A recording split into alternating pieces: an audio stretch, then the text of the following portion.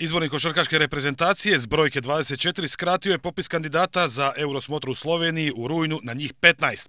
A taj popis kaže sve kako se i očekivalo. Planinić i Popović ipak neće u rujnu braniti broj Hrvatske zbog ozljede.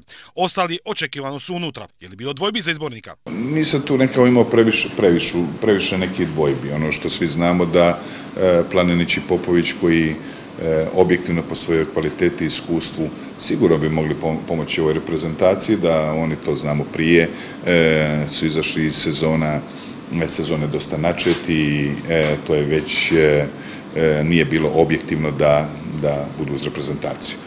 Reprezentacija zajedno s Repešom i pomoćnicima Sunarom i Erijavcom do početka rujna odigraće deset utakmica. Pripreme počinju 20. ovog mjeseca u Svetom Martinu na Muri, čime se vodio izbornik kod odabira igrača. Ja mislim ko bude više bio tim e, da će imati više šansi. To je, to je jedan kriterij i drugi kriterij mislim da ovi momci mogu proći zahtjevne pripreme jer nas očekuje maraton, jedan zaista košarkaški maraton i onaj ko bude napravio bolje pripreme, da bude u boljem i kondicijskom stanju, mislim da će imati više šansi.